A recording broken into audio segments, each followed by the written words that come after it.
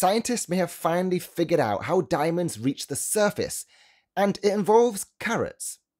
Okay, not those carrots, these carrots. Meet the kimberlite pipes. These are giant carrot-shaped tunnels that punch straight through the crust from over 150 kilometers down deep in the mantle where diamonds are born. Now kimberlite pipes aren't a new discovery.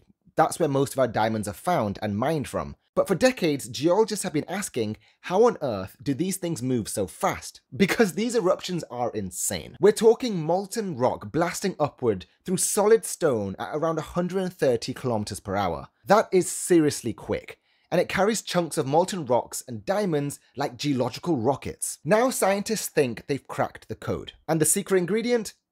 Gas. Specifically, water and carbon dioxide, Earth's own explosive cocktail. A study looked at an ancient kimberlite called Jericho way up in Canada's Slave Craton, and they ran some simulations at the molecular level, and what they found was pretty wild. Deep underground, water keeps the magma smooth and mobile, like grease in an engine. Meanwhile, carbon dioxide gives it lift, making the melt buoyant enough to rise through the mantle. But near the surface, that CO2 starts to bubble out, building pressure until, you guessed it, boom.